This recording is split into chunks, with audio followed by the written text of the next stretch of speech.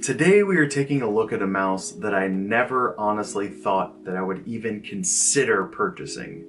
The final installment of the God series, the Starlight 12 Poseidon by Final Mouse. Let's go ahead and start by getting the absolutely unreal price tag out of the way. This mouse retails for $189, but that is a pretty large asterisk because of scalpers and bots that pretty much snipe these mice the second that they drop. For anyone who is unsure of how Final Mouse releases their mice, basically they only drop them in small batches and once they are out of stock, they are officially out of stock. And this basically leaves you with the aftermarket in terms of purchasing one of these mice. Me and my significant other both had alarms set to try and cop one of these mice organically, but within 10 seconds of having one in each of our carts, we were already out of luck. I really wanted to see if all the hype was necessary, and this mouse in particular has an allure that piqued my interest.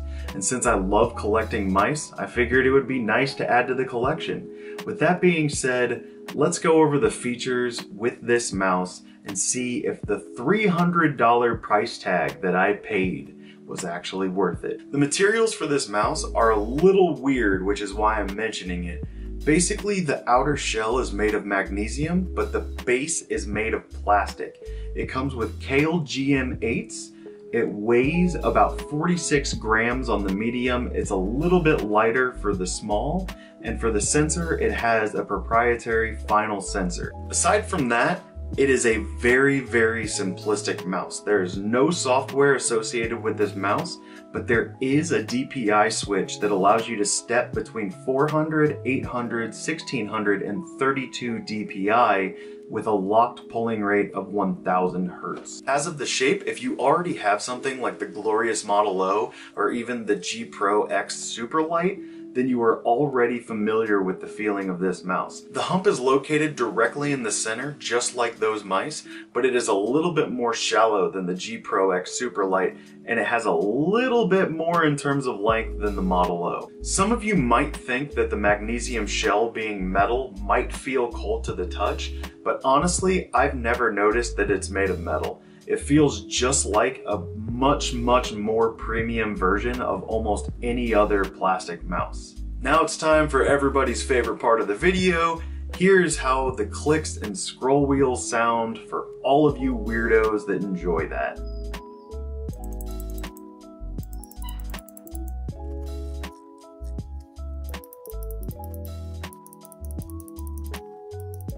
Bouncing off of that topic, this mouse has very little pre-travel, but it does have some post-travel, and that might be kind of a turnoff for some people. The battery life for this mouse is incredible. I use this mouse for about one to two hours a day every night, and I've only charged it once since I unboxed it, but that was just to see how the cable felt. They state that the battery can last up to 160 hours, which makes sense considering there are no lights or software, but it just does what it does. Since I already mentioned the cable, I feel like I should go into a little bit more detail about this cable. It is a braided cable that actually feels pretty similar to a paracord. Honestly, I didn't even realize that it was connected, but I also had it on a bungee, so that might have made a difference but I thought this was pretty incredible because normally I can tell at least a little bit of resistance from the cable even if it is an aftermarket paracord. This cable definitely isn't perfect, but if you were in a pinch and needed to play with it plugged in, I don't think you'd really notice a difference. The weight here is something I didn't really think was going to make that much of a difference. Heavier mice such as the G303 are normally my go-to mice, and I never really bought the whole lighter is more gooder mentality. This mouse comes pretty close to feeling like there is nothing in my hands. So once your arm adjusts to not really feeling the mouse, it will definitely help you move faster just because there is simply less material to move and less force required. This mouse performs exactly like it should for the games that I played. I've seen graphs that show the differences in latency of different mice and this mouse is kinda sat right in the middle of all of them. It has a wireless latency of 11 milliseconds and 6.5 milliseconds while it is wired, where the G Pro X Superlight is 3.1 milliseconds wireless and 2.5 milliseconds wired. I'm really more of a casual player that enjoys competitive games these days, but if you're the kind of person that is really sensitive to 8 milliseconds of delay, then this might not be the mouse for you. Let's go over the elephant in the room the quality control issues that people have been discussing. These complaints seem fairly justified considering the hefty price tag associated with this mouse.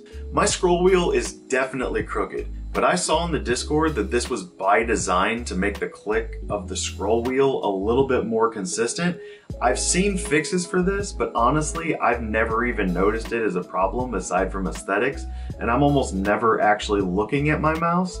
I completely understand why this would be an issue to have such a horrible look after spending upwards of $200 on a product, but it doesn't really affect me or my gameplay, so I'm not too focused on that. My base doesn't seem to have any flex in it, it's possible that I just got lucky, but I've never really been in a situation where I'm smashing the bottom of my mouse so hard that it could possibly break. My copy doesn't have a lot of wiggle or flex in the mouse 1 and mouse 2 buttons, so maybe again I got lucky or they possibly upgraded it in the Poseidon, but I'm not really noticing it. Final Mouse did something that I honestly couldn't believe, which is give me a mouse with things that I didn't even know that I wanted. I've used plenty of lightweight mice in my years of gaming, but this mouse is by far a step ahead of everything else that I've tried. After just a few days of using this mouse, I saw my scores in KovaaK's and AIM Labs increase by almost 15%. Now, I'm definitely not a god at these games, but it felt good to consistently improve just by changing mice.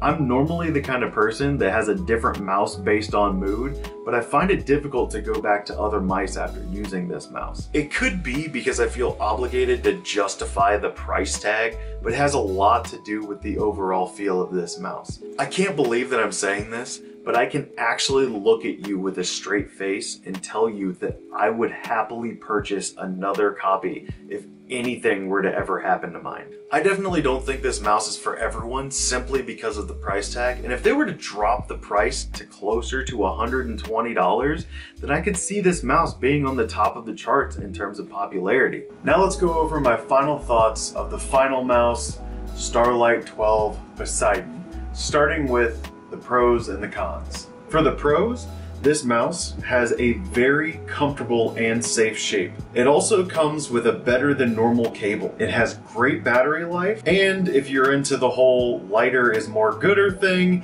then this mouse is incredibly lightweight. For the cons, the click latency is about average. Also, the Swiss cheese look might be a bit of a turnoff for some people. And most of all, the price. The price tag for this mouse is insane. All in all, I absolutely love this mouse and I'm so glad that it's part of my collection. But with that being said, I don't necessarily think that this mouse is going to be taking over in terms of my daily driver, largely because of things such as the lack of software and customization. This mouse is incredible if you only play competitive games, but for a lot of the task management type stuff that I usually do, I need at least a little bit of customization. I like to be able to program the side buttons to do different things based on different programs, but that might not be so much of a problem for you. And with all of that being said, thank you very much everybody for watching. I hope you guys all enjoyed this video and found it informative. If you did, don't forget to hit the like button. And also, if you guys have any thoughts, questions, concerns, or would even like to ask questions about the Starlight 12, feel free to leave a comment down below. It's greatly appreciated. And have a wonderful day, not because I told you to, but because you should.